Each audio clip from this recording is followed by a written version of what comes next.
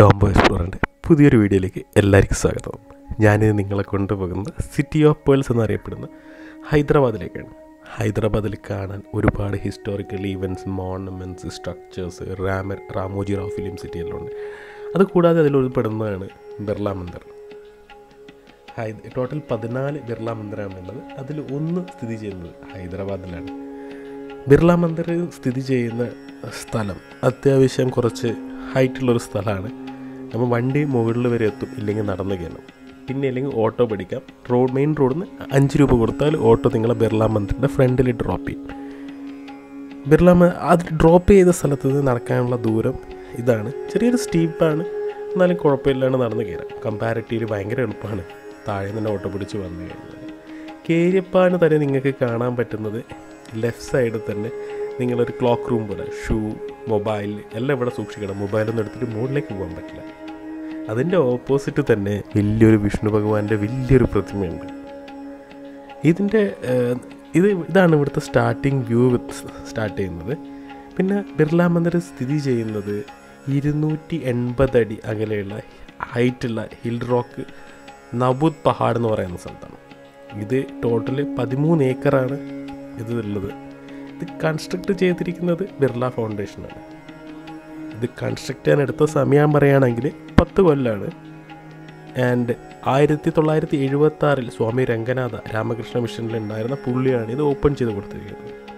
ഇതിൽ യൂസ് ചെയ്തിരിക്കുന്നത് ഇരുന്നൂറ് ടൺ പ്യുവർ മാർബിളാണ് പിന്നെ ഈ മ- അതേ മാർബിളിന്റെ അവിടെ കാണുന്നത് ക്ലോക്ക് ടവറാണ് ഈ ക്ലോക്ക് ടവർ നോക്കിക്കഴിഞ്ഞാൽ ഫുള്ളായിട്ട് നിങ്ങൾക്ക് ഹൈദരാബാദ് കാണാം. ഞാൻ നിങ്ങൾക്ക് ഇതിന്റെ ചുറ്റുമുള്ള കാഴ്ചകളാണ് കാണിക്കുന്നത്.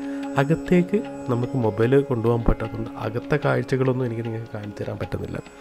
അകത്ത് ലോർഡ് വെങ്കടേശ്വര സ്വാമീന്റെ വലിയ പതിനൊന്നടിയുള്ള ഒരു പ്രതിമയുണ്ട്. ഇതാണ് ഇവിടുത്തെ സ്റ്റാർട്ടിംഗ് പോയിന്റ് ഓരോന്ന് ഓരോന്ന് ദേവിയും ദേവന്മാരും ഹനുമാനും ശിവൻ വിഷ്ണു എല്ലാവരും ഓരോ ഓരോ പ്രതിഷ്ഠകളുണ്ട്. അതുവഴി കയറി പോകാം. ഇതുവഴി ഞാൻ നിങ്ങൾക്ക് സൂം ചെയ്ത് കാണിച്ചു തരികയാണെങ്കിൽ ഓരോ ദൈവത്തിന്റെ അല്ലെങ്കിൽ ഓരോ കൊത്തുപണികൾ നമുക്ക് ഈ മാർബിളിൽ കാണാം. എല്ലാം നല്ല രസമുള്ള കാഴ്ചകളാണ് കേട്ടോ പിന്നെ അതിന്റെ പുറത്തിറങ്ങിക്കഴിഞ്ഞാൽ അതിന്റെ തൊട്ട് എന്താ പറയുന്നത് ഇറങ്ങുന്ന സ്ഥലത്ത് തന്നെ ചെറിയൊരു ഷോപ്പിംഗ് മാൾ പോലെ അല്ലെങ്കിൽ ഷോപ്പിംഗ് അറേഞ്ച്മെന്റ് പോലെയുണ്ട് അവിടെ നിന്ന് നമുക്ക് ഐഡൽസും എന്താ പറയുക ദൈവത്തിന്റെ പെയിന്റിങ്സും പിന്നെ ലഡു തിരുപ്പതി ഭഗവാന്റെ ലഡു പോലെ ഇവിടുത്തെ ലഡുവും നല്ല ഫേമസ് ആണ്. അപ്പോൾ ആ ലഡുവും വാങ്ങേണ്ട സ്ഥലമാണിത്. പിന്നെ നല്ല എന്താ പറയുന്നത് പൂ അഗർബത്തികളൊക്കെ നല്ല മണമുള്ള അഗർബത്തികളൊക്കെ ഉണ്ട്. ഞങ്ങളും അത് ഓരോന്നും വാങ്ങിച്ചു. പിന്നെ ലഡുവും വാങ്ങിച്ചു. ലഡു ഒരു വികാരമാണല്ലോ. ലഡുവും കൂടി അവിടുന്ന് വാങ്ങി. പിന്നെ ഇതിന്റെ പാർക്കിംഗ് ഫെസിലിറ്റി നല്ല പാർക്കിംഗ് ഫെസിലിറ്റി ആണെങ്കിലും പാർക്കിംഗ് ഫെസിലിറ്റി പെട്ടെന്ന് ഫുള്ളാവും. കാരണം ഒരുപാട് ആൾക്കാർ ബിർള മന്ദിർ കാണാൻ വരുന്നുണ്ട്. എപ്പോഴും പാർക്കിംഗ് ക്രൗഡഡ് ആയിരിക്കും. പാർക്കിന്റെ സൈഡിൽ തന്നെ നിങ്ങൾക്ക് വേറൊരു വ്യൂവും കൂടി നിങ്ങൾക്ക് ആക്സസ് ചെയ്യാൻ പറ്റും.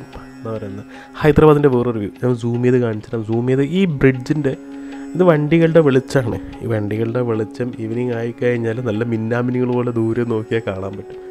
ഇത് ഞാൻ പറയുന്ന ഹുസൈൻ സാഗർ ലേക്കാണ് ഇതിൽ കാണുന്ന ബുദ്ധ പ്രതിമയും കൂടി നിങ്ങൾക്ക് സൂം ചെയ്ത് കാണിച്ചത്. ഡെഫിനറ്റ്ലി ഈ രണ്ട് പ്ലേസ് നിങ്ങൾ ഹൈദരാബാദിൽ വരുമെങ്കിൽ ഡെഫിനറ്റ്ലി വിസിറ്റ് പ്ലേസിന്റെ ലിസ്റ്റിൽ ഉൾപ്പെടുത്തുക. അപ്പം thanks for watching ഡോംബോ explore stay safe bye bye